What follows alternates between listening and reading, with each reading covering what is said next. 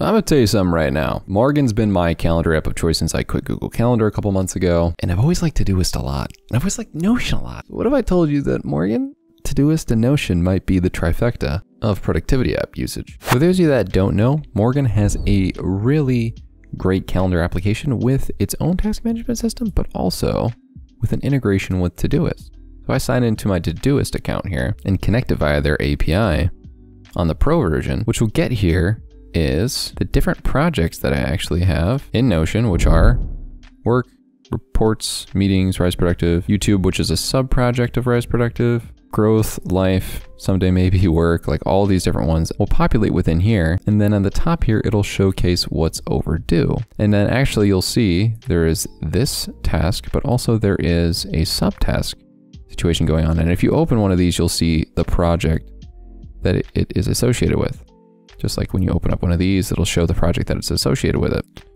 So the cool thing about this is that I can easily and effectively, if I get rid of my normal calendar style of time blocking or not, just keep it on there. I can take a day like Sunday and drag one of these Todoist tasks onto my calendar so that I am able to easily connect the two. And this gives you a better visualization of the task management side of things. I have, I, am obviously somebody who is like really time blocked, so I can try to fit in tests on top of these different blocks. So put different things like do the laundry right there. At work, I can do my little marketing checks right here. And this is going to actually, if I open this up, include all the subtasks that were associated with it. And if you want to go to Todoist really quickly, I'll open it up and it'll see the subtask there. Just like you'll see here, this is a work task. If we go to show this guy, you'll see that this event is a placeholder created by Morgen for one of your scheduled tasks. The details are not visible for others. But when I clicked on it, it actually did check it off for the email clients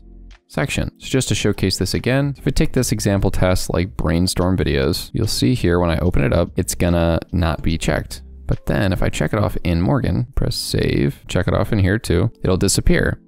Because This is only showing not completed tasks. And then if I go back to Todoist, it's actually gonna be checked off. Now, why would you do something like this? Why would you use Todoist for this? The reason you'd use Todoist for this, instead of like Morgen's basic one, is because of the quick capture. So when you have Todoist open in the background, I press my quick capture right here, I can do, here is a task in my inbox for 5 p.m today. If I go to my inbox right here, it'll populate here. And in a few minutes, it'll end up populating in your inbox right here. And you're also able to do the quick capture side of at, we'll do rise productive, hashtag rise productive, task, example, Morgen integration, task, and I'd be able to easily drag them over as well. And then you'll see here, it also brings in the priority from Todoist. Like if I show this example task, I'm sure it's going to be a priority too.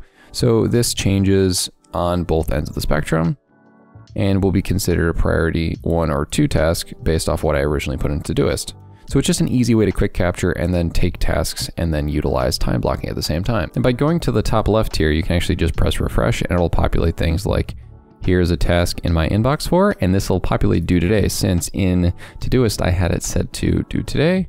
And then right here, you'll see it could populate in the Rise Productive section as well. And then by putting this on something like here and opening this up, what I actually do is see that there is management of the recurrence on the external source. Tasks coming from external sources cannot be made recursive from within Morgen. But if I go here and change this recurring to every week, just as I could do in the quick capture, you'll see if I check this off, it'll update, but then it would repopulate a task in Todoist, which makes it easier on us to just drag it in again. Now for tasks that you don't want to interact like this, you could just go and utilize the inbox and systemality, six, an application of Todoist to make your system work. But when it comes to note taking and knowledge management, that's where the other things come into play with Notion. While I may have my whole task management in here, I can fully see that I could utilize any one of like my Notion templates from a meal planning perspective or job applications or my notes database